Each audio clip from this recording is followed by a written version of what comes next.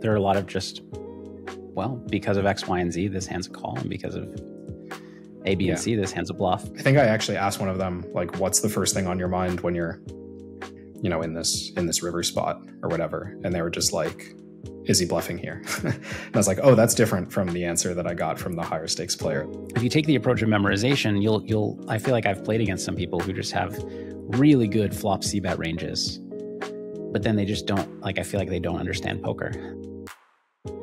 Hey everybody, Phil here, and uh, this is the Phil Galfond podcast.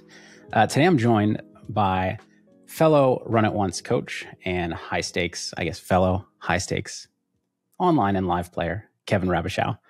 Um, I want to give a uh, disclaimer to everybody watching. So both Kevin and I um, put a lot of time and effort into releasing uh, courses this year. Um, uh, mine was released at the beginning of the year. Kevin's was released uh, more recently.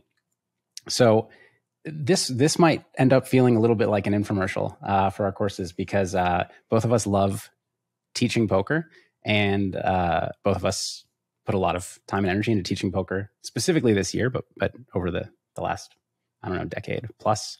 And so that's what we're going to talk about because we find it really interesting. But uh, if you don't want to hear us talk about our own products, um, then you don't have to. Uh, and thanks for watching the intro. Um, without further ado, uh, Kevin, how are you doing? I'm doing well. Thanks for that, Yeah. Phil. Uh, how are you doing? I'm doing well too. Thank you. Thanks for uh, joining me today. So let's start with um, let's start actually a little bit further back um, with. I don't. I don't want to go through you know the whole uh, poker origin story, but let's talk about your coaching origin story. Um, so, what's your first experience teaching poker uh, in in some form or another? Yeah, I I mean, I guess I'd have to think back to how much I would call like certain stuff that I did early in my career coaching.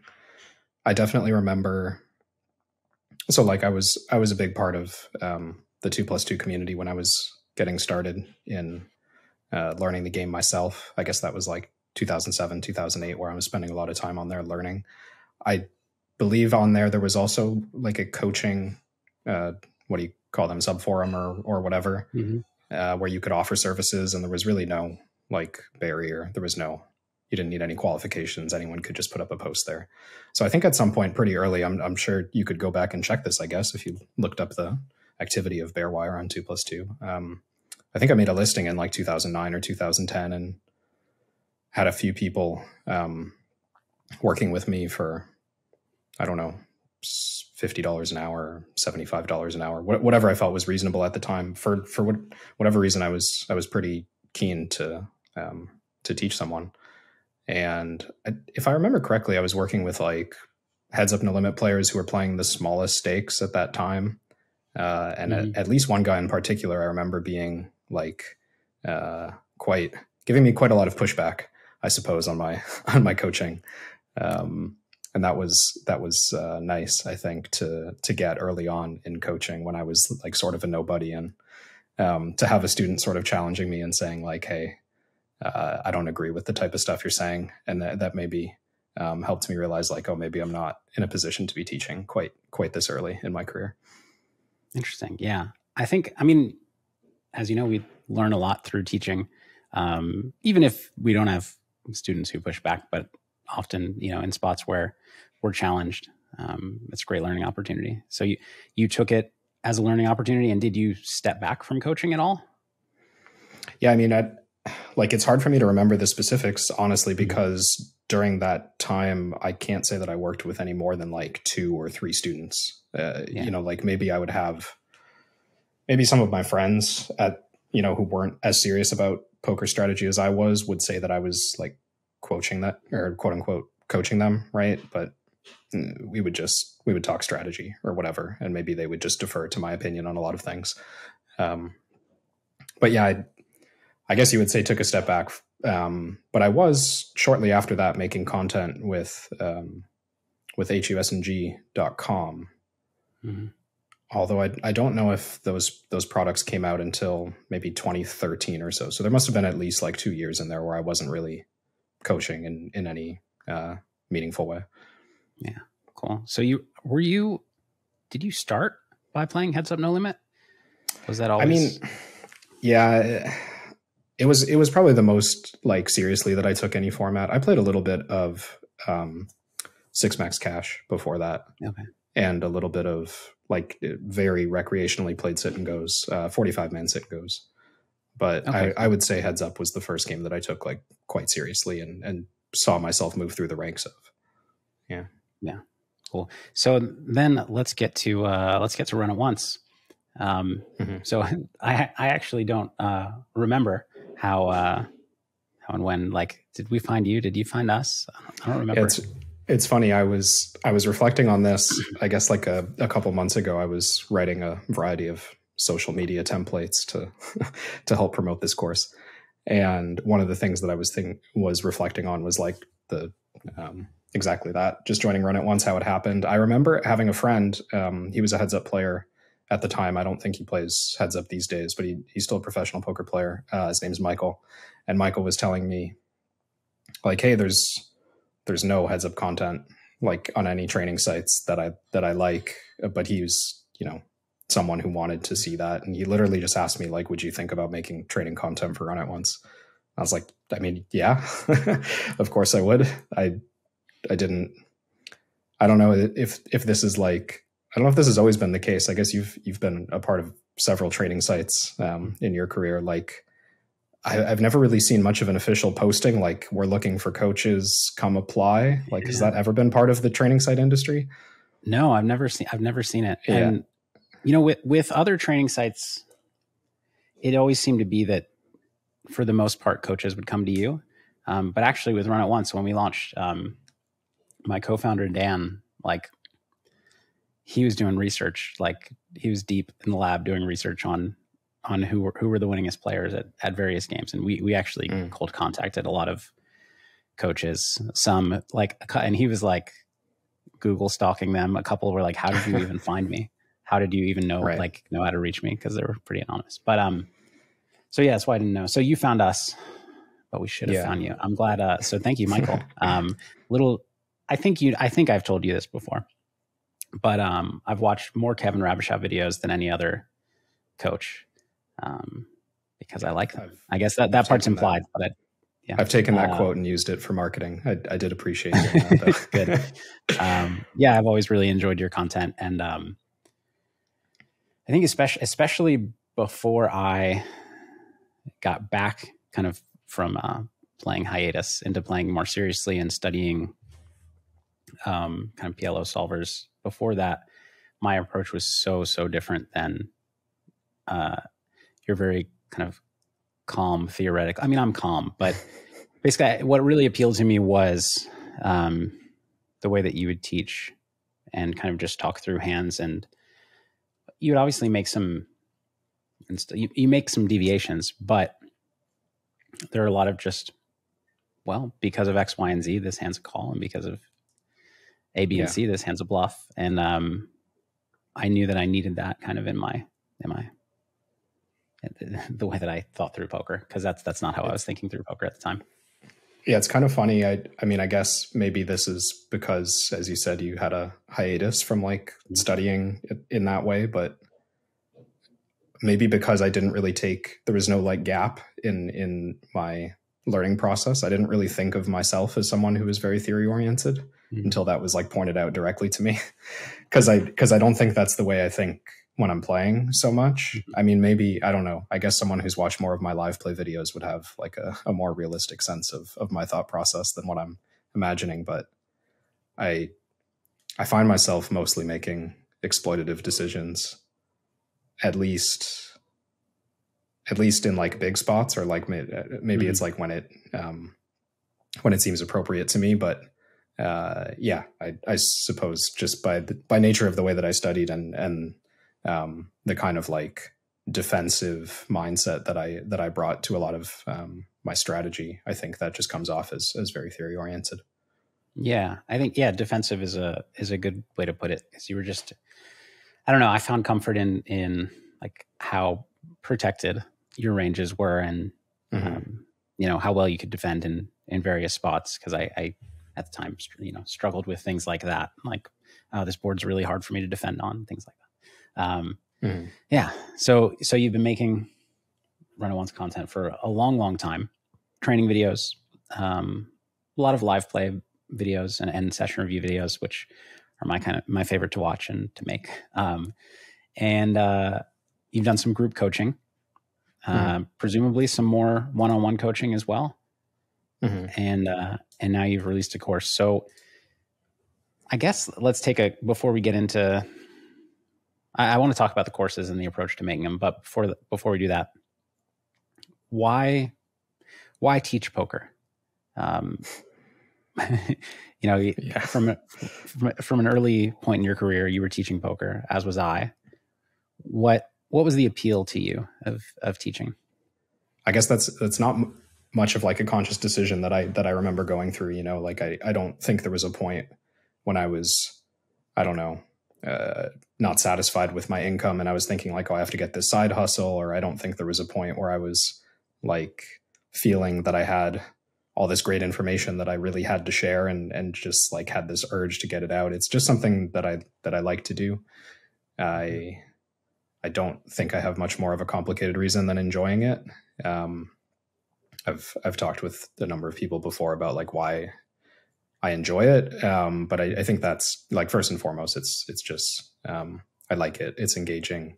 I like it more mm-hmm. than playing honestly, which is I think weird um, for a lot of yeah. people who who enjoy playing or or are competitive because I, I think I'm quite competitive as well. But um, I don't know something about it. I I just like the process more. But I again I wouldn't have found that out unless I did it so much, and I don't exactly remember why I started doing it in the first place. It just seemed kind of natural. It just happened. Yeah, I honestly think so. I think the reason that I started doing it in the first place. So I like talking strategy, and back then in the you know and back when I was young. Uh, two plus two, there was you know a lot of uh, strategy discussion. So I, I like taking part in that. And, and, the first thing I did in coaching was uh, write strategy articles for Bluff Magazine. Mm-hmm. And I think honestly that came from a place of kind of wanting recognition of my abilities. Um, mm-hmm. Like came from an ego place. Um, and then once I started sharing strategy. People really liked it, and so it. I mean, I don't know how much is you know how much of it is is that like feeding into that ego, but also just mm-hmm. enjoying. Mm-hmm. You know, it's it's really enjoyable to put content out there and see that it helps people. Um, and so I yeah I found out that I really liked it too, and yeah, the rest is history. when when you were like, um, when you were early, I guess an early user on two plus two, were you someone who was like regularly explaining to to other people like for for no particular reason other than just to like share the strategy were you like jumping into threads and like correcting people or were you someone who like wrote your own threads to or or was bluff magazine like the first kind of you know strategy writing you were doing?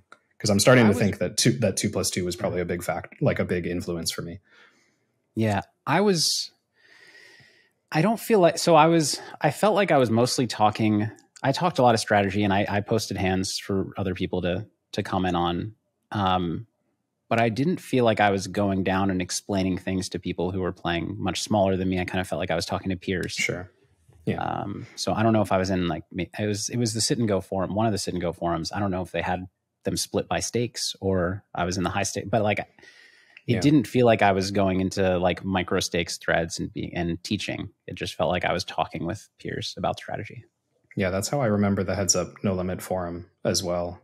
Mm-hmm. But perhaps like Heads Up No Limit when I was playing, I think started at 25 cent, 50 cent. I think that was the smallest game that existed. Yeah. And I was playing probably that or probably, you know, maybe 50 cent a dollar. So I was basically starting at the bottom and talking with a bunch of people who were willing to engage with that stuff. So um, I guess I had to be speaking to my peers. Um, yeah.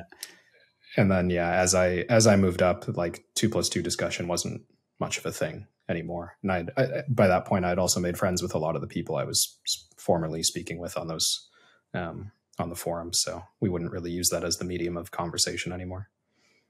What do you think? So some people out there uh, watching this uh, want to learn poker uh, in one way or another. How should they go about deciding whether to watch regular training videos, to buy a course, to to get a into a group coaching or one on one coaching? Session? What what are the different mediums what are the big differences to you in, in terms of what you can communicate and how you can communicate, how you can learn?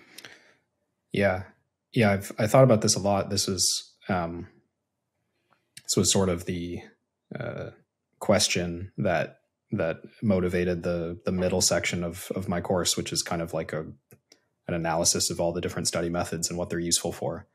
And but I've had a few people recently like reach out in private, sort of asking, you know, what would like what level is appropriate for me? You know, what should I be starting with, whether they're new or whether they're maybe a, a small stakes player or whatever. I I always thought there was, at least when I learned the game, there was this natural progression from like books to videos to tools in in mm. some way. I guess like books were very entry level. They explained like extremely fundamental things like like math or or terminology or uh, the value of aggression or whatever.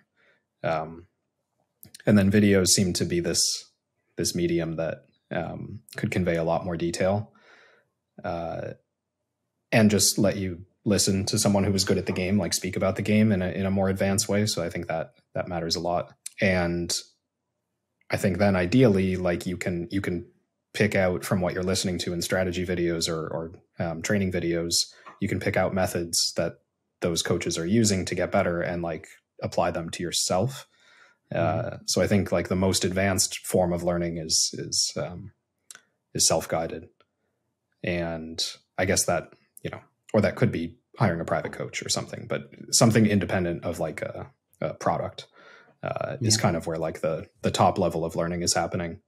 Um, so I suppose, yeah, like there's a lot of people who try to skip those steps. I think, and I, I don't know if that's viable these days. It's it's interesting with you know with solvers being a lot more accessible than they used to be. It's um, I'm sure there's a number of very good players who have never read a poker book in their life. So mm-hmm. I, I suppose that yeah. that progression that I'm used to is is maybe not necessary anymore.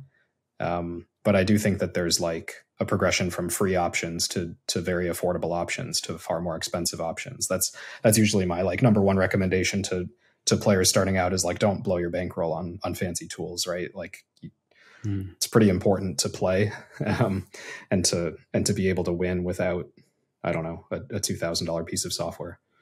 What would you say to somebody? So let's say there's a a low stakes heads up no limit player.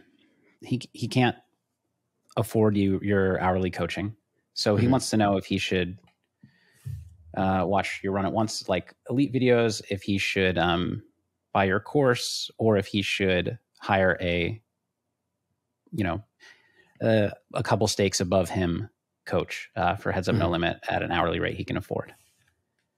Um, obviously, you don't know this coach, um, but without without knowing the coach, how, how, would you what would you advise him to do? Um, and if you feel uncomfortable answering it about yourself, maybe we could give the example of a, a Heads Up PLO player and, and me.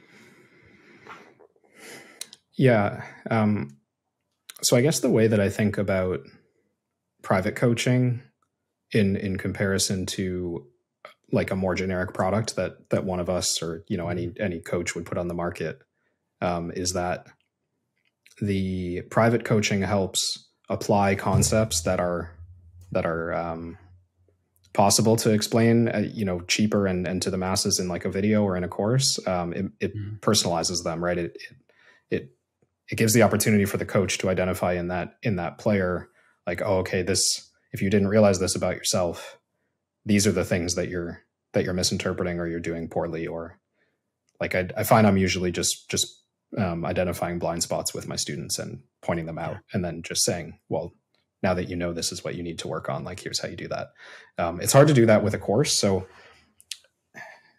i guess if i would say if that person's reason for seeking help is that they don't understand concepts then i think they can accomplish that cheaper by by subscribing to Run It Once or by or by buying a course. Um, mm-hmm. I think if they feel that they understand concepts but they're struggling to win, then I think hiring a coach is is a much better move. Um, assuming yeah, that affordability is is reasonable, right? Yeah, yeah. My I guess my disagreement there is that a lot of people who would answer yes to that. I yeah, I think I understand concepts. Um, don't don't understand the concepts, and so they need the. Well, has that been like? Yeah, I mean that it, it's possible that what they need is to hire a coach for an hour and find out that they don't actually understand, and then and then go back a step. Um, yeah, because yeah, if the if they don't know what they don't know, then someone needs to tell them. And if if you know if they don't have a peer who's going to do it, then a coach is is probably best suited. Most of the, I mean, I I make training videos uh, and Run wants his training videos. Um, I don't do a lot of one-on-one coaching, basically none. Um,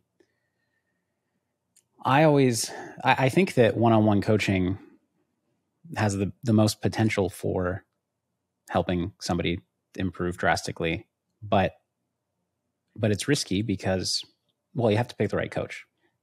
Because mm-hmm. um, I think you know uh, it's easy for a coach to lead you astray, and you're putting a lot of trust in a coach. Um, so picking the right coach is really important. And I think sometimes a coach with a a track record that you trust or recommended by somebody who's who's really good and, and who you have a lot of confidence in, then then I think that's very valuable.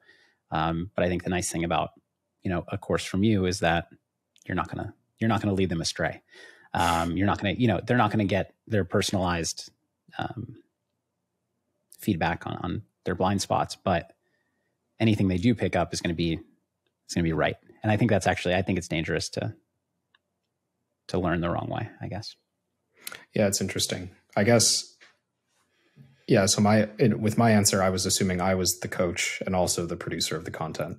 Um, yeah, no, you can't be the coach. I, You're too expensive. well, I think, I think that um, it kind of points at at something that I find not necessarily problematic, but just like very common in the poker industry is that a lot of the coaches uh, available are are very recognizable good players, uh, which is very which is normal, um, but not necessarily people who have given much attention to like how to how to help their students. They're they've maybe mostly given attention to like how to be really really good at this game, and then when you hire that coach, um, they're quite likely to just convey like some percentage of what they know um, and hope it sticks kind of thing, mm-hmm.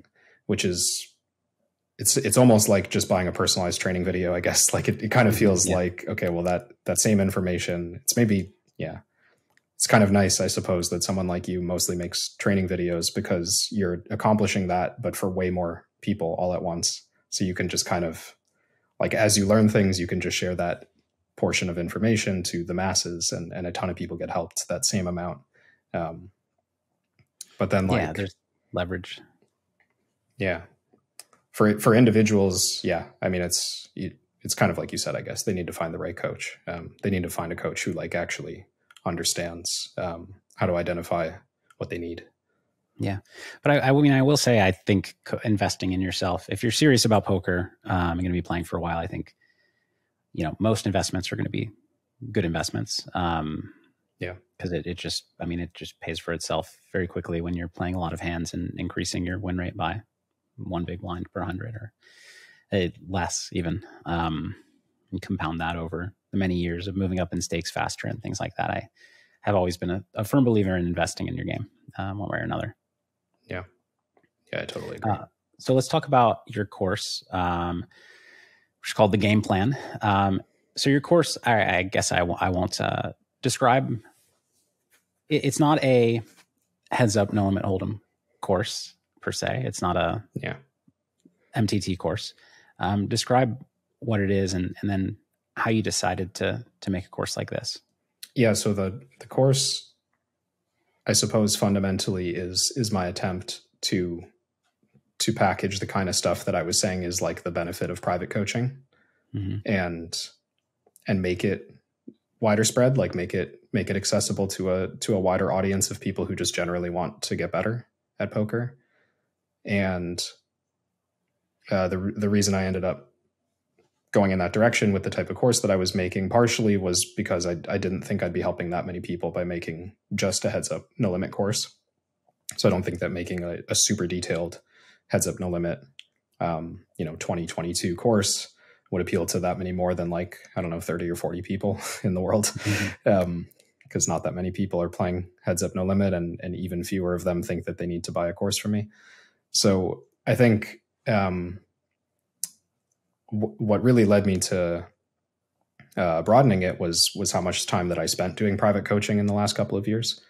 Uh, when when COVID hit, I I wasn't able to travel as much. Um, I was primarily playing live tournaments. Let's say like the year and a half leading up to to that, and uh, so not only did I get a lot of coaching requests, but I also had a lot of free time to mm-hmm. um, to take on new students. So I took on like a, a lot of students, uh, and I and I worked with a variety of players who I had never really worked with in any serious way previously. So I started to see like the commonalities in their needs. Right, I, I started to see that um, almost everyone who was coming to me didn't really understand how to use tools in in an effective way. I, I realized they didn't really know um, why they were why they were good or what they needed to work on. Like maybe they had a, a rough idea, but it was all very vague. Mm. And I found myself just kind of repeating the same process with all of them over the first couple of of hours of coaching. Um, if they're an online player, it was like, let's analyze your database. Let's mm-hmm. pick out the three things that you need to work on that are most urgent, and then let's come up with a few, you know, easy ways to do it. Uh, that was like every single new client that I took on was going through those steps. So I was like, when when we started talking about doing a course, I was like, well, this is this is very broadly applicable, right? This could help a lot of um, people who are playing a lot of different games and maybe just never thought to to come to me for coaching. So now they now they get to see that process. Yeah, I mean that's you're responsible coach because you're in doing that. You're I, I don't mean the course, but even in the in the in the private coaching, you're you're leveraging the time that they are paying you for, uh, rather than just saying, "Well, come to me and I'll explain these concepts to you." Um, you know, one hour at a time. Uh, yeah. You're, you're, you're yeah setting them in the right direction, which is what a what a good coach should do. Um, so so what was the process like in creating the course? Um, you built the outline because I, I, just I so the course I, I, mean I've been making training videos forever, um, but this was the first course I ever made, um, and it mm. was it was daunting to yeah to kind of map it out and and finally do it. Yeah, yeah. I mean, I mean, I'm curious to hear about that, but I'll I'll tell you my yeah. my outline process, I guess, a little bit. So the like once once I recognized the angle that I wanted to take with the course, one you know the the way that I just described, kind of being that that startup um, path for a lot of students of mine. Uh, the outline came together really fast for the first couple sections. So it came together really fast for um, evaluation and for improving. And, and also just the the very I think the first couple, the first videos I recorded are actually the first two videos of the course, which is just in theory and in practice. That was like uh, mm. those were a couple of um, seminars actually that I put together during one of those earlier group coaching projects. Just kind of reworked them to um, be appropriate for the course. But the the concept that that uh, drives the whole thing, this idea that people need to like take their theory study seriously and also their their like practical execution um, seriously, was uh, like I knew that that was that was going to be the direction of the course. So so everything that followed that part of the structure came together really really fast. And then I got to the game plan section, which was the heads up no limit section and and I just kept kind of um, restructuring and, and redoing it and uh, I think I was fighting the urge to just make a whole heads up no limit course um, once I got there because I knew that's not what I wanted to do. Yeah. So I kept having to like, which has been like a, a really, um, I think, important learning experience for me as a coach over time is like I kept having to strip information away uh, yeah. from from the end product, which I think helps the course. It might not it it might not be um, as marketable as like you know 200 hours of content or whatever, but uh, in in the end, I think it like it's a product that I'm happier about. But it was hard for me to go like to decide what to focus on. It was hard for me to decide okay, how do I present um, the, a full game, like the process of learning a full game and and executing a strategy for it without actually doing that, like without without going through one node at a time, every node in the game tree. Uh, and I ended up somewhere in the middle. I think. Like I, I still went through quite a lot of parts of the game tree, but um, I, I held I held back as much as I could. Um, so yeah. that part was was the biggest challenge for me. Yeah, I, uh, I, I, I didn't hold back from that. I, I mean, I think that I, with my course, I mean, I went through every reasonable node of the game tree on every board texture. Um, Yeah. and I ended up with a whole lot of videos. And I think I'm unsure how I feel about it. I, I felt a lot of pressure. I was putting a lot of pressure on myself um, because the, I, I felt like the expectation is if I'm going to make a PLO course, it better be really good. Mhm. Um, and so I just didn't want to leave anything out. Um, but I think part of the, and I mean, pe- people are liking the course, um, people are buying the course, but I think like one thing, I, so one thing, like you said, it's, it's good for people if you can distill it to things that they need to learn the most. Um, so that's not taking as much of their time. Um, and also, I think that it's it's not clear to me uh, how marketable the I don't I think my course is like 80 hours or something. I don't know I don't know how marketable that is because on the one hand it's like yes, you're buying a lot of content and you're going to have it forever. But on the other hand, it's like you're going to have to put in a lot of work to get all, all of the the value out of this. And I think sometimes people want to know you know, hey, I'm going to study this for 10 hours and I'm going to get better. Um, whereas it, yeah, it can feel daunting. So I don't know what was the right way to go about it. I went about it the Mhm. opposite way, the, the really, really long way.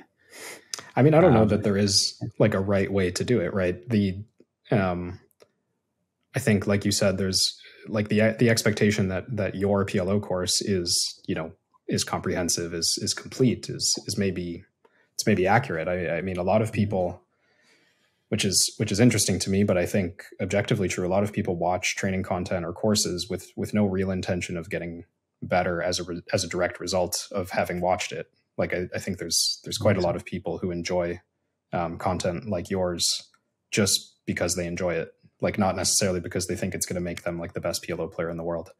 Um, maybe they have their own Yeah. you know reasons kind of tied up in there, but um, perhaps for that part of the audience, that's that's absolutely the right choice, right? To make it like very complete, very comprehensive. Um, you don't want to leave any plot holes, right, in your in your movie. Yeah. Yeah. Um, one other thing I did that is, is different than yours, uh, is that the, basically I, I mean, I put a, obviously a ton of time into the course, um, completed it, and then that's it. Um, so I don't have a, uh, any kind of private groups or, um, Mm. Yeah. follow up calls or anything like that. Yeah. Um, because I committed, I was comfortable committing to all the time it took to to put into the course, but um, I yeah the the long term, I didn't want to bite off more than I can chew or make a promise that I couldn't keep because I end up very busy. So uh, Sure. so you get the course and that's it. Um, with your course, um, I know you get access to a private study Discord group. Mhm. Um, what else do you get? Uh, there's also four live seminars that we're gonna start running like right after the sale ends. Um, so there's gonna be like I, I I think the way it's gonna work is basically those seminars will be recorded as they happen, and then the the videos will later get uploaded to the course. So it's it's not like Mhm. someone who buys the course later would would just be blind to that content, but um, you know, adding adding a little benefit, allowing people who who purchased the course early and have already gotten started um, to get Yeah. to like interact with with me and the other users right away. I think is is nice, um, and they're actually kind of the so the seminars are not even completely done. Uh, this was part of this was me buying a little extra time to to finish some some Yeah. other stuff. Uh, so I was like, oh, great, we could just do it live. That's perfect. Um, but what's what's cool is that you know we're only I guess a, at at this point a week into um, launch, and there's already some people in the Discord who have watched through almost everything, and they're giving some feedback on like what's kind of missing or or what they would what they're left wanting to know, having already kind of gotten through a lot of the content. So it's like it'd be great if we could cover this in the seminar. And It's like, well, good news, we can because I haven't made Yeah. them yet. Yeah, Yeah, that's perfect. That's one. That is one thing. So, like I said, I, I like a Discord that I that I'd have to keep up with for you know indefinitely uh, was too daunting to me. But I do kind of wish that I had a forum to like a place to talk to people who have bought the course and watched a lot of it um, because mm-hmm. I do want to hear what what's been the most helpful, what what they feel is missing. And I I know we sent out uh, like a survey to to ask some questions like that, but it's not the same as being in the Discord. So it's really cool that they're in there and you can get that feedback right away. Um, yeah, cool for them too. Yeah, yeah, yeah. I think it's like, I mean, I I don't know if you feel this kind of you know when you when you make training videos there's kind of that extra layer i suppose between you and the and the student so to speak but um, i certainly find like I, th- I think one of the reasons i enjoy coaching the most is is kind of the not only the follow up that helps you maybe like tweak your methods or, or get better at like the mm-hmm. game of coaching but also um, just knowing that it might have had a tangible impact in some way like being able yeah. to talk to that person a year or two years later and find out how it how it influenced them how your content or your coaching or whatever influenced them is is really nice. Yeah, yeah. I mean, I I love that part. Hearing, um, there's kind of a nice, um, there's a fortunate uh, uh, survivorship bias for us where, you know, like people who have watched our videos and then stop playing poker, we don't really hear from, but people who have, you know, a lot of success and, and then we end up at yep. the same table with are like, Hey, I, I started by watching your videos and it feels, it yep. feels great you don't get that many people like sitting next to you at World Series saying like, "Hey, you're the guy who killed poker. Like you're the, yeah, you're that you're that jerk who made everyone better." there, I mean, you get it some. Uh, I guess I don't get it a lot in person, but I, I, get that on Twitter sometimes. You know, why are you why are you teaching yeah. everybody to play better? Why are you making the games tougher? Um, do you get some of that? Yeah, a little bit. Yeah. yeah. And what is your well, what is your response to them and what is your thought about it in general um i mean i, I suppose I, I don't know that i've had to like directly respond to any mm-hmm. um you know any claims of of that nature although i've i've talked to people who share that mindset like i have friends who who certainly share that mindset that like mm. um you know information there's there's no value in sharing information or or whatever um part of me just like doesn't care but I, like i understand but at the same time like from from my point of view it's just it's just not something that um uh i guess like frightens me is is a better way to put it like i i i see those kinds of comments as like sort of um uh fear that that what they have is is kind of slipping away over time right um yeah. this like advantage that they have they don't they, they see it as as finite and that it's like disappearing over time and and this is a contributing factor or whatever. And that, that might be true um, but that just doesn't that doesn't i guess as a player that that's not something that frightens me. Um, I, I actually talked to oh i'm forgetting who it was at this point. I don't i don't want to say the wrong name but but someone um, someone else in the coaching industry we kind of share this opinion that like the the value, the other way of looking at it is that there's value in making the games tougher. Uh, like the other way of thinking about from an, from an industry perspective, like pushing um, pushing information that helps people uh, kind of uptake the game and and feel like they're improving towards a competitive state is the reason a lot of people get involved in the first place, right? Like a a lot of people wouldn't stick around yeah. in the game um, a lot of very good players who are who are now maybe famous in the in the poker industry like wouldn't be in this game if it wasn't for training content um, because they would have probably just gone to some other competitive venture that that offered a, a learning path of some kind um, so I think poker would look very different without training content. I'm not I'm not sure that it would be a version of poker that I would be so excited about. Yeah. Yeah, I feel the same way. I mean, I I think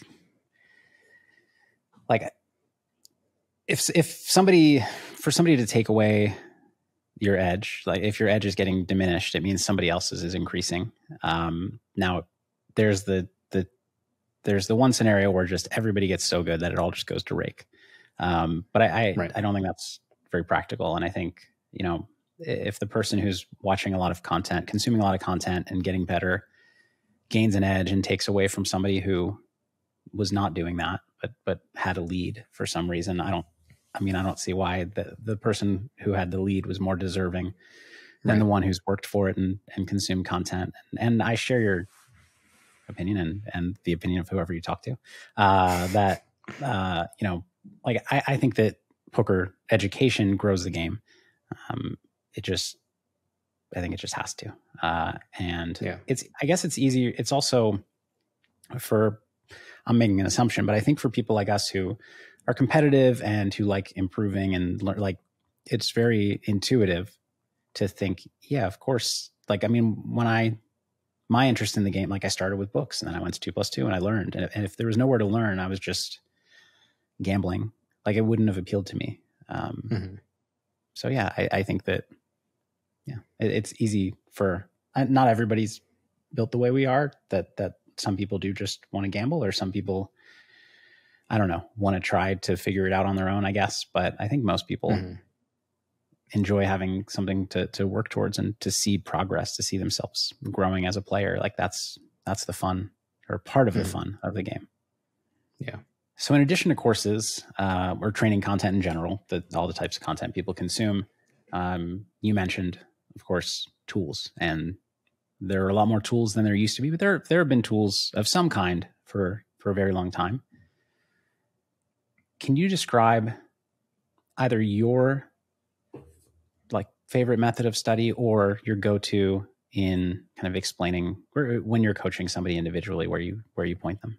Yeah, I I think I mean this is this has changed I guess more recently. Um as I started working with like a wider variety of players who didn't necessarily have like um like advanced understanding of theoretical concepts or or you know maybe they're good players but they they're just not um they haven't gone through the same process that I did which was like buying PioSolver in 2015 and like keeping up with all of the programs until now someone who's in that position, I think, um, gets gets the most. Uh, I don't know if, I mean, it might not be like the most cost effective. I don't know if bang for your buck is the right word, but like they they get really um, immediate impact. I think from from using GTO trainers, and I would say that that's like the most impressive modern tool in in terms of how effective it's been for for me or for my students uh, I know that's like kind of a broad category of products Yeah. at this point. There's there's There quite a number of them, yeah. different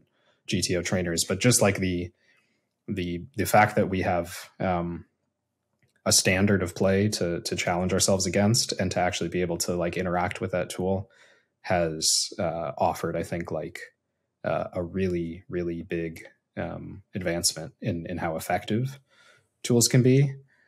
Um, that said, they still they still have the challenge of the user being able to understand what they're doing, um, which I think is well, there's maybe not a quick fix um, for that, but it, it is something. when you say understand what they're doing, do you mean understand what the tool is trying to tell them or understand how to go through the tool or understand how to extract the right things from the tool?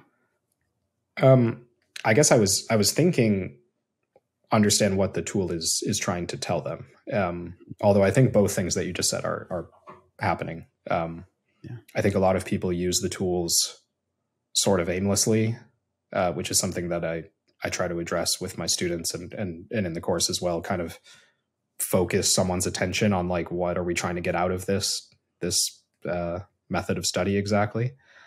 Um, but I would say like if someone was just it, if their only goal was to get better and they said I can only use one tool, um, which one should I pick? And like you know I'll I'll use it ten hours a week, and I would just say like yeah get a get a trainer, find whatever format it is that you're playing, and just play against it for ten hours a week and don't do anything else. Uh, they would probably get better really quickly. But yeah, understanding like what the machine is telling them is is hard. Uh, Yeah. and I think for the most part, the conclusions people draw are I don't want to say incorrect because like the solver can't speak to me, so I don't I don't know that all of my conclusions are correct either. Right. I've actually I've seen a, a lot of your I guess a lot of your recent content has turned in this direction of, of trying to like use solvers but not pretend that they're like our, you know, our overlords who who know everything and should be followed without question. Um, so I guess I'm curious what's what's on your mind in, in that regard. But like the the the biggest, um, e- even though I think it's a big problem that they don't understand, I also don't know if like anyone in particular is is using that same tool. Like you know, very very good players. I don't think anyone in particular is using that same tool and like having this magical understanding and therefore being that much far that yeah that much further ahead of the other person who's just using it and doesn't really understand why um, yeah they're doing what they're doing i think i feel so, so i think some people will go in and just in addition to drilling they'll you know look at a range in different spots and i think that i think the problem that some people have is they're looking to just like roughly memorize a strategy um, mm. which you just can't they're just too big like I, I mean everybody watching if you spent if you spent two weeks trying to memorize um, you know a c bet strategy on flop from cutoff versus big blind on king seven five two tone like i i think you could probably get pretty close um, but then when you get to every turn of which there are very you know there are many there are i guess 49 um, and then every river following and all the sequences of action that can take place. You just can't memorize it all. And if you take the approach of memorization, you'll you'll I feel like I've played against some people who just have really good flop c bet ranges, but then they just don't like I feel like they don't understand poker. Um, because, and so I, I yeah. think what you need to what you need to get out of it is you're looking for patterns. So I would say two things. I think the key actually, so you're looking for the the secondary thing, which I already started saying, is you're looking for patterns, which are like, you know, these are kind of the hand qualities that like to be more aggressive, or these are the yeah. the you know, these are the types of boards that you want to use these sizings on. So you want to look for patterns and and but but I think then it's really about trying to apply human logic as best you can. Um, I know, like that's kind of what you're saying is the solver can't speak to you and tell you exactly what to mm-hmm. take away from it, and not everybody's going to going to take the same thing away from it. But that really is, I think, the goal is is figuring out why it's doing what it's doing to the best of your abilities, because then you can extrapolate, um, and then you can, you know, in other spots that you haven't studied or you don't mem- uh, you haven't memorized the exact strategy, you can use your feeble human mind and uh, and get to a conclusion that is at least okay. And I think one thing that that people also tend to not understand is that you know there are a lot of like if, if you plug uh whatever if you're looking at a, an individual spot and you give the solver several sizings it's going to mix a lot. It's going to use a lot of different sizings. And that means that that those decisions are similar in ev um, and there are some spots that uh, I don't want to speak to no limit because I'm not an expert, but there are some spots in PLO where like a turn strategy of only using a third pot sizing and the strategy of only using a pot sizing are actually similar in EV. Um, and you have to the, the ranges are different obviously because you're trying to accomplish mm-hmm. something different with a third pot sizing and, and with a pot sizing um, but a lot of people look at we'll we'll see somebody play a strategy that's different than what looks different than optimal and assume that they're making a big mistake.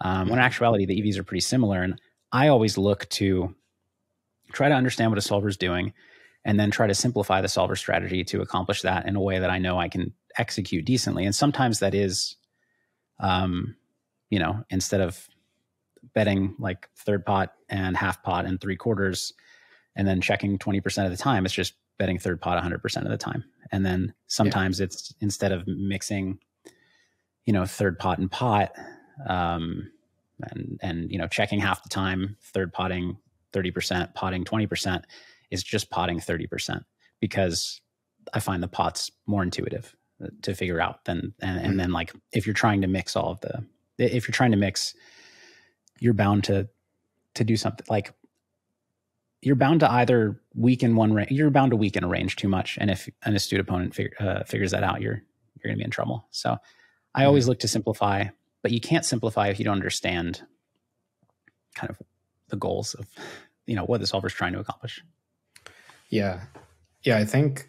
I mean, I think my approach is quite similar in No Limit, and what what comes to mind is that I I worry that we um, like the two of us, because of how much time we would have spent learning the game before needing to work with solvers.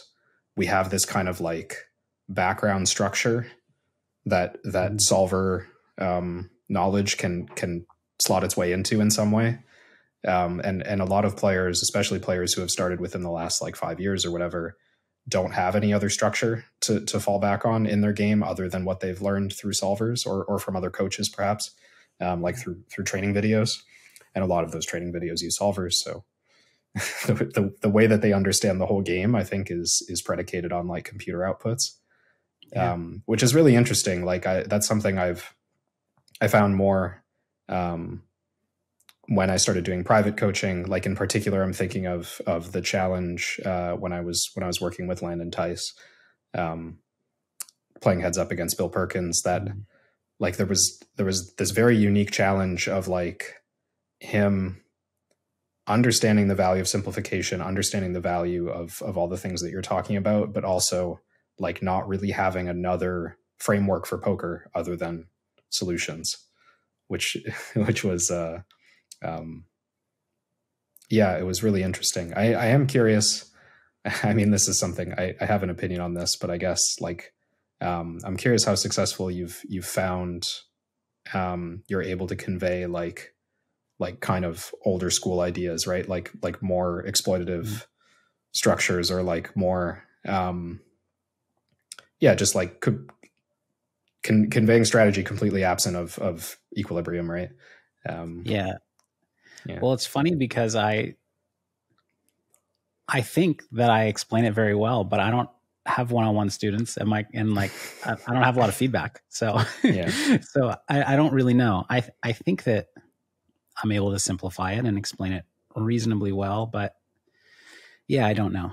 Um, it's definitely possible that you know I'm that I'm unaware that I'm talking to a generation of people who are very focused on the you know the outputs and haven't thought through. I, I'm hoping that I don't know. I believe I can. well, I I suspect I can break through. I mean, I might be wrong, but I, I suspect that whoever's learning from your content is is absorbing that kind of framework. Uh, Maybe Yeah. it's not like something you're intentionally putting forward, right? But they're they're almost certainly absorbing that that way of thinking.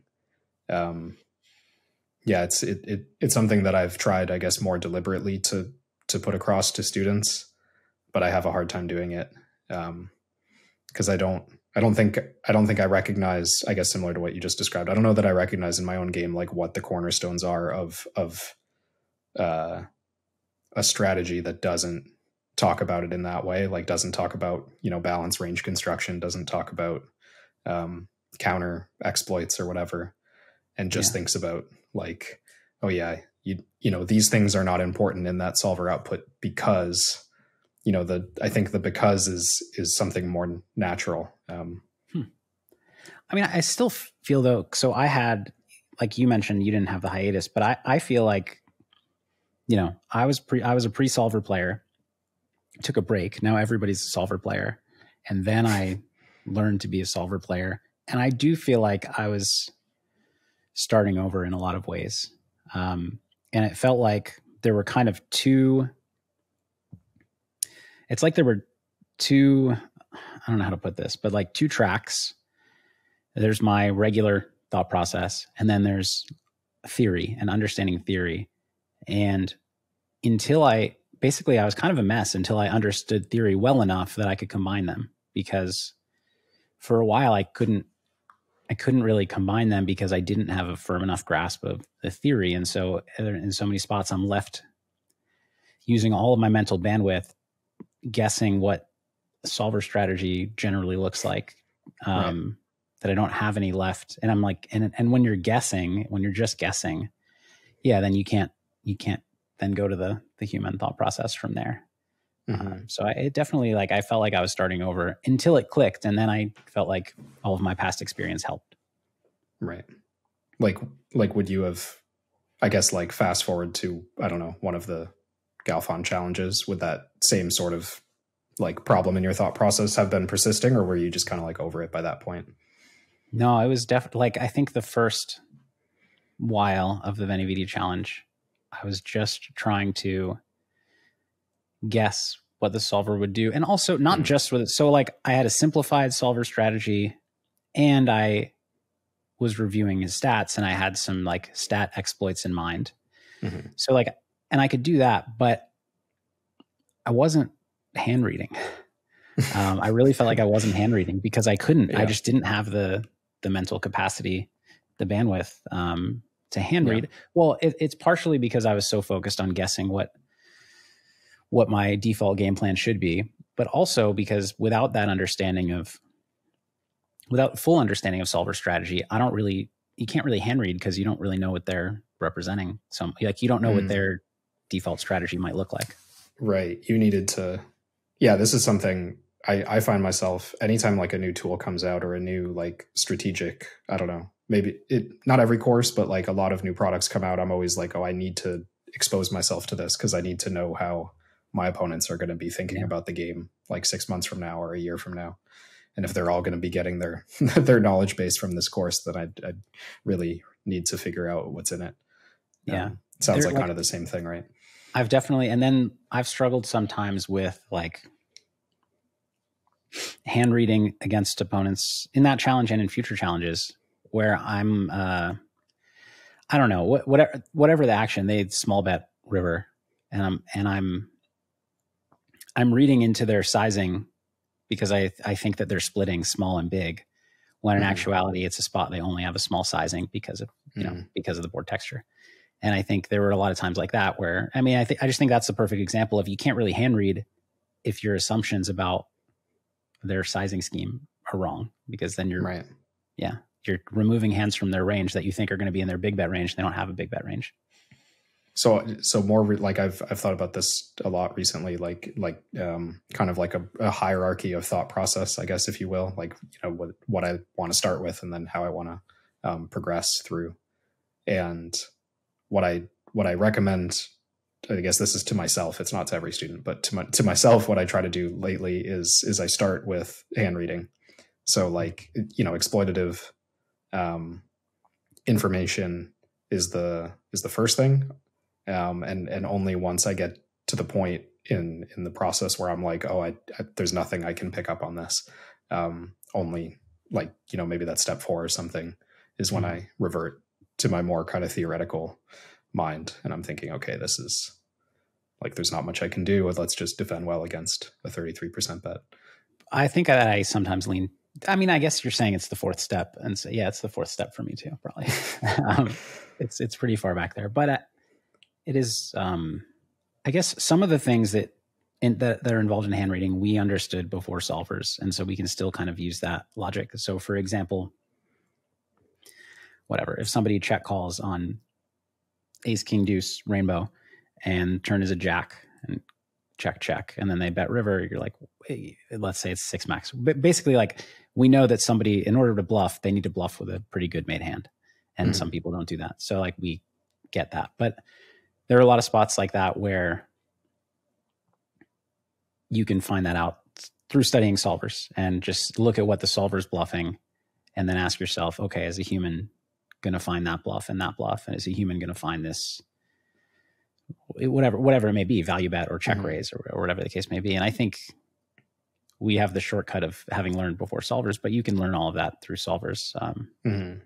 And I, I mean, I try to learn all that through solvers and yeah, that's a, a spot, that's a good figure example. out somebody's, somebody's under bluffing or over bluffing based on how hard it is to to bluff properly in that spot. Yeah, yeah, that's really valuable. I I actually think it's extremely important to draw those conclusions from solvers. Um, because a lot of people, I think, don't realize like what assumptions that they're building in to to a statement like oh they it's going to be hard for them to bluff this river because i think what they're really saying is like it's hard for me to bluff this river.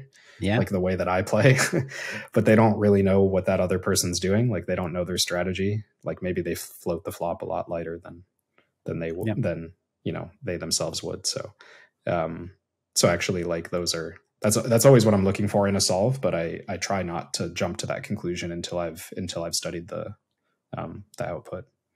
Yeah yeah i think that i mean i think so much of i think players that are at lower stakes or just like fans of poker when they who are like enthusiasts so they know about solvers they understand um, all this and they watch training videos where people are you know talking about all the theory um, they just assume that humans are getting a lot closer to to solver mm-hmm. strategy than humans are. Humans are not very. It's too hard. It's just really hard to be close, and there are a lot of spots yeah. where humans are messing up. Like most spots, yeah. humans are messing up in one way or another, and if you can figure out which way they're messing up, um, that's where you find some of your edge.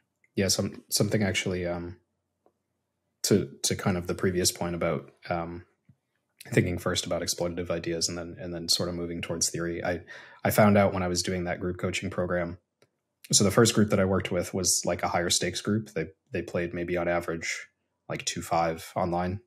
Mm-hmm. Um, generally very theory minded players. Generally very uh, advanced in the on the technical side. Um, and they were at that stage where they kind of what you described, where they just like forgotten to hand read or like they weren't really paying attention to the more obvious um, not obvious but like the more in your face type of information at the at the table that really shouldn't be ignored um, yeah. so with them i was giving that advice. I was like oh you need to you need to start with your exploits and work backwards from there.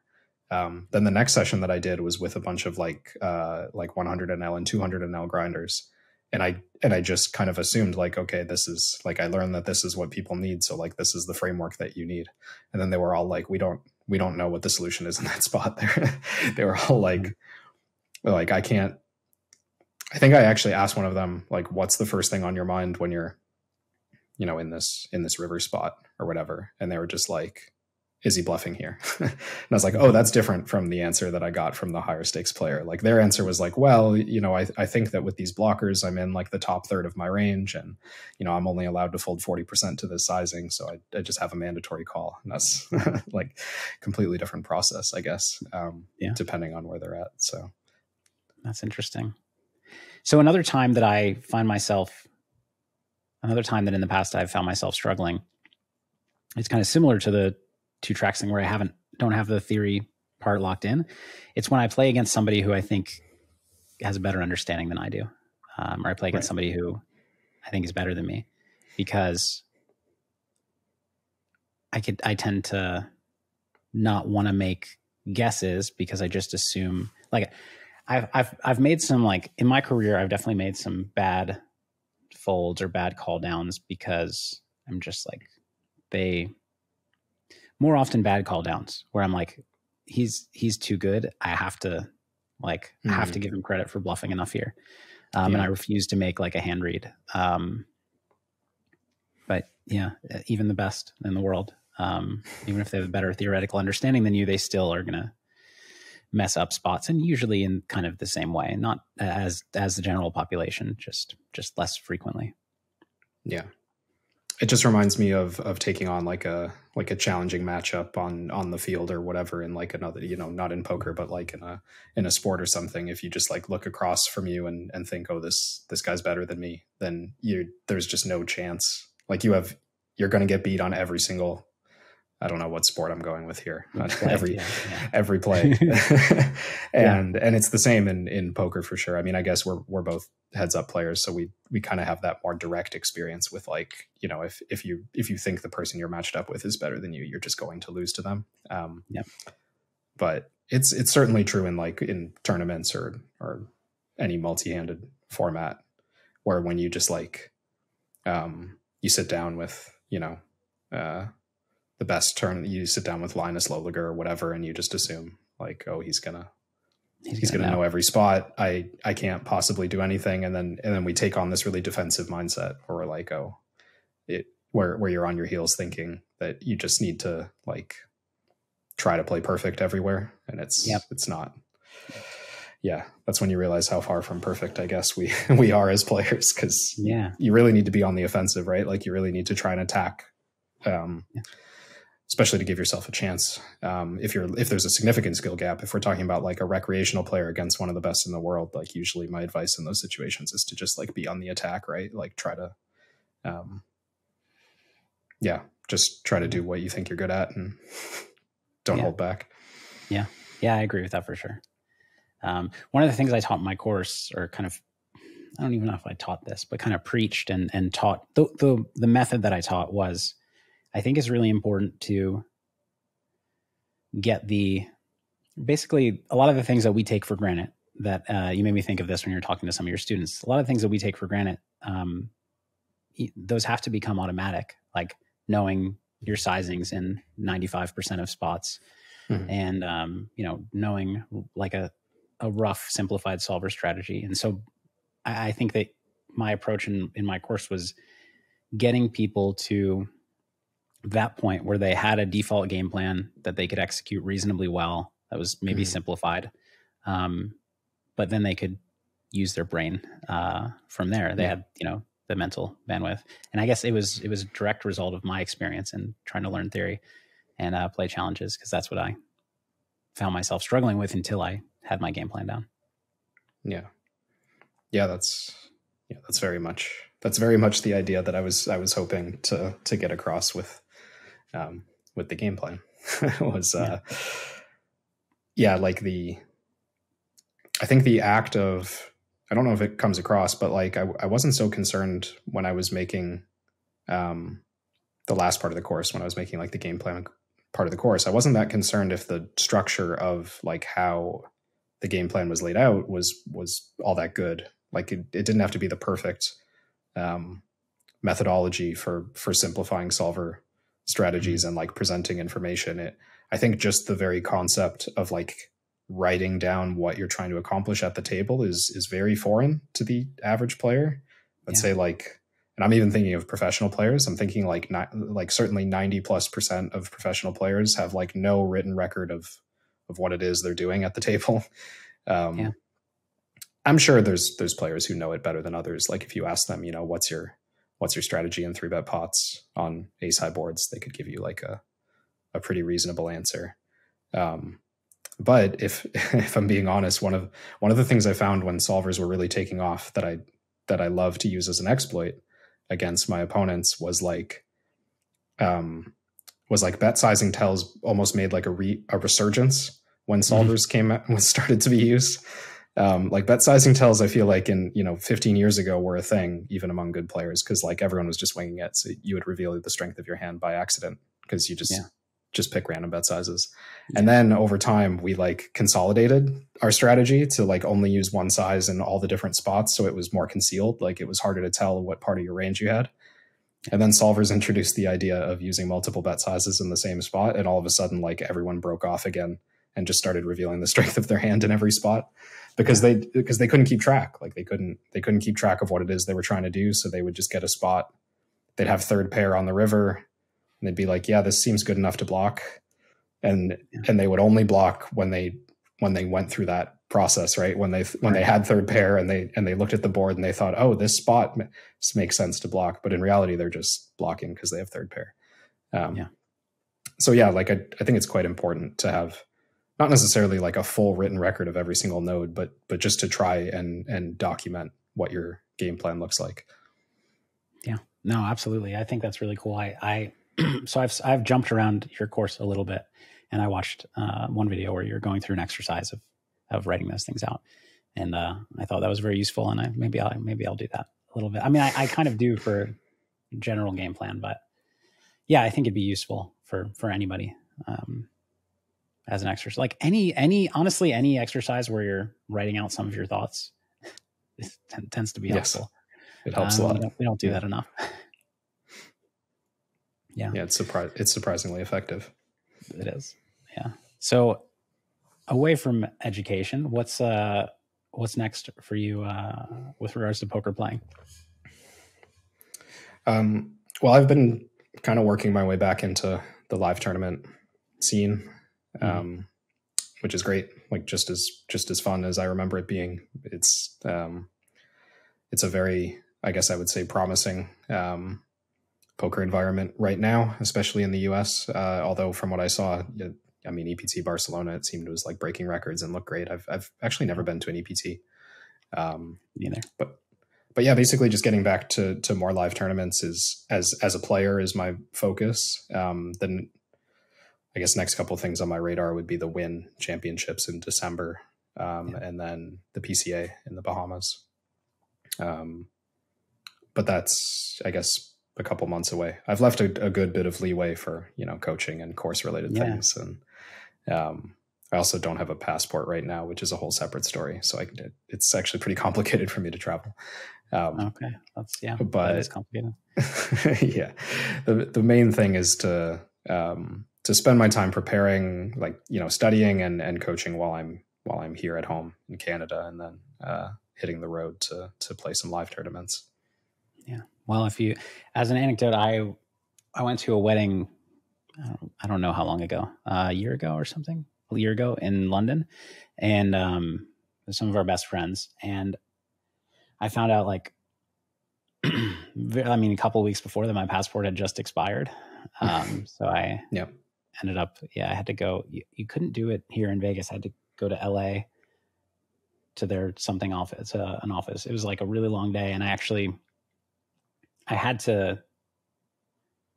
There was some reason I had to be back like at a certain time. Like I, I had to make it a really quick trip, and I wasn't. Mm-hmm. I ended up getting a like a uh, like a limo service to drive me both ways, and I slept in the car because I found that to be the most efficient. It was, anyways, it was a very long day. Uh, yep, it was a very long day. But you got so to go to the wedding. You got to go to the wedding. I did. I got to go to the wedding. Um, so if that's helpful, hopefully that helps you with your situation. I actually could. It was so. I guess I'll I'll give you the yeah. the, the the previous uh, chapter of this story. So I was I was in Vegas for the World Series. Um, I had just become a Canadian citizen, so I like mid series I flew to Canada, took my oath, flew back to Vegas, which is not advisable apparently because once you become a citizen, you're you you like physically cut up your travel documents, your Canadian PR card. Okay. You, you physically destroy it, um, and then apply for a passport after that. So they're kind of they kind of advise you like, hey, by the way, don't travel for the next couple of months while you wait for your passport. And I was like, okay, see ya. I'm going to Vegas tomorrow. Um, yeah because I have to get back to the World Series. I already okay. I already missed one big tournament. I, I, had to skip a high roller to to do that. Um, so yeah, one once I got back, what I had to do was get like a it's it's like an official paper called confirmation of citizenship that like no one ever uses for any reason really.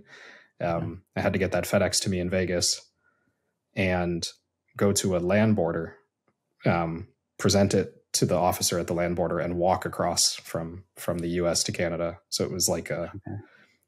a very roundabout way of returning home after the World Series. Uh, I'd rather yeah. not have to go through that again. So I ideally the passport arrives before I go to the the Wynn Championships, but if not, I'll just fly to Buffalo and walk across the Peace Bridge again. I Thanks. guess. Okay. Good luck. Do you, you don't still have a U.S. passport? I do. It it's funny. I I don't know what would go wrong if I used my U.S. passport, but my lawyer advised that I don't. I oh, okay. I guess when traveling into Canada, like you know, you, you tell them like, uh, like why are you visiting? They'll ask like why are you visiting, and it's like oh I'm not visiting, I'm coming home or whatever. I don't know. It's some something about the procedure. It's not it's not correct. I think they would have to let me in but i'd I maybe get detained for like four hours. I'm I'm not really sure yeah, how it works. One of those. I used to always get like at some point because I was going back and forth a lot. Um, yeah. At some point, I got like flagged on the mm-hmm. list, and basically every time I would come in, I'd go to the back room and they'd yeah ask me yeah. the same question. Yeah, it's a pain. You don't want to get flagged. You don't want to get flagged, and I did. Um, all right. Well, let's uh, let's end on a on a low note. uh, cross border travel. Um, thank you for uh, for joining me. Uh, I I mean I I love to nerd out about poker and poker education. Uh, so thank you. If uh, if people want to find your course, it's at runonce.com. If people want to find you, uh, where else can they look for you? Uh, they can find me on Twitter or Instagram. My handle in both places is at K Rabichow, first name, last initial. And uh, I have a, a, website for my private coaching as well. It's just my full name. So kevinrabichow.com. Cool. Yeah. And uh, as I mentioned at the top, watch more Kevin Rabichow videos uh, than any other coach. And uh, he's pretty good, guys. Thanks, Phil. Thanks, Kevin. yeah. Have a good one. Thanks. Appreciate it.